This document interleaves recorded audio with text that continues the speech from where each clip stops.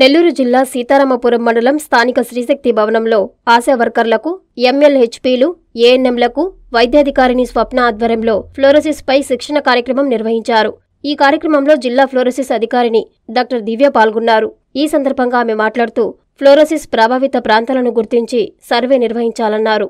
పాఠశాలలోనూ ఇంటింటికి సర్వే నిర్వహించడం జరుగుతుందన్నారు.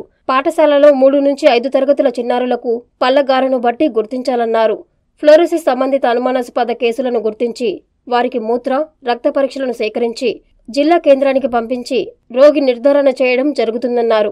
అదేవిధంగా ఆయా గ్రామాల్లో నీటి నమూనాలను సేకరించి పరీక్షల నిమిత్తం జిల్లా కేంద్రానికి పంపడం జరుగుతుందన్నారు. ఈ కార్యక్రమంలో ఎంపీహెచ్ఈఓ మజీద్ ఆశా వర్కర్లు ఎంఎల్హెచ్పీలు ఏఎన్ఎంలు తదితరులు పాల్గొన్నారు.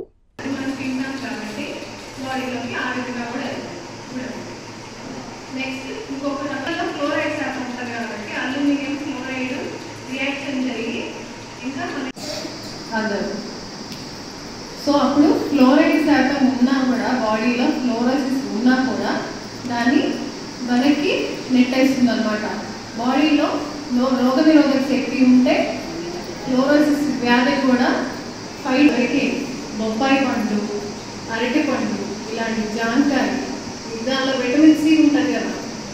రోజు వాడే టమాటా చింతపండు ఇలాంటివి వాళ్ళకి ఎక్కువ కాస్ట్ కాకుండా ఈజీగా వాళ్ళకి దొరికేవి వాళ్ళకి దగ్గరలో ఉండేవి మనం వాళ్ళకి సూచించాలి.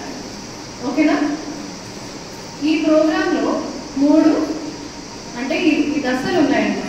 ఒక్కొక్క దశలో ఒక్కొక్క రకంగా మన శరీరంలో మార్పులు అనేవి కనిపిస్తుంది ఫస్ట్ పళ్ళలో కనిపిస్తుంది. పళ్ళ మీద తెల్ల చారలు మొదలయ్యి అక్కడి నుంచి పసుపు కలర్లో మారి అక్కడి నుంచి బ్రౌన్ కలర్లో మారిపోయి గుంటలు గుంటలుగా పడిపోతుంది.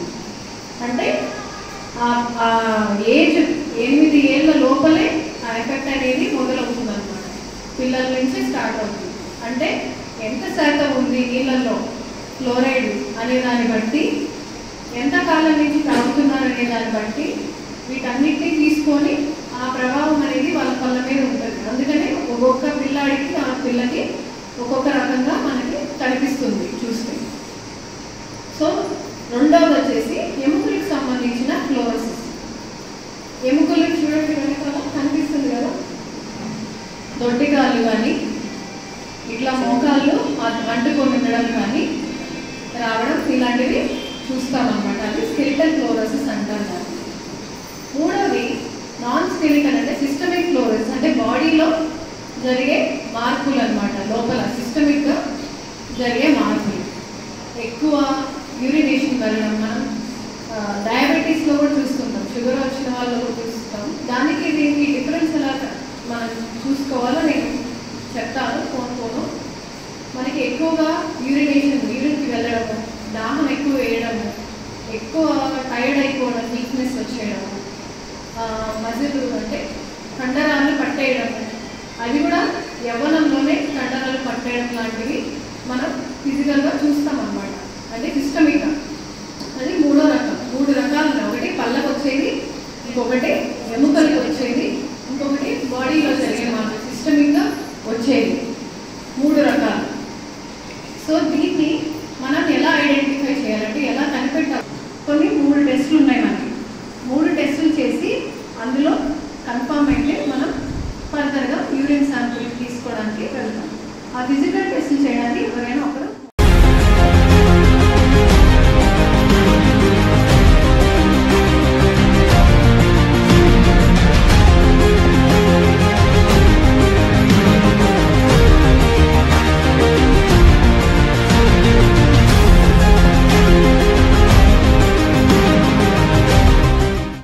రామస్వామి సూపర్ స్పెషాలిటీ హాస్పిటల్స్ కావలిపట్టణ మరియు పరిసర ప్రాంత ప్రజలకు శుభవార్త. Doctor M Ramaswamy trauma spine కీళ్ళ మార్పిడి స్పెషలిస్ట్. మోకాళ్ళ మార్పిడి తుంటి మార్పిడి ఆపరేషన్లు చేయబడును. విరిగిన ఎముకలకు వెన్నుపూస ఆపరేషన్లు అత్యాధునిక పద్ధతుల ద్వారా చేయబడును. Doctor P. పుష్పిక గుండె ఊపిరితిత్తులు షుగర్ అండ్ రుమటాలజీ వ్యాధుల వైద్య నిపుణులు. Doctor T. Sudeep Yadav general మరియు ఎండోస్కోపీ అండ్ లాప్రోస్కోపిక్ సర్జరీ నిపుణులు.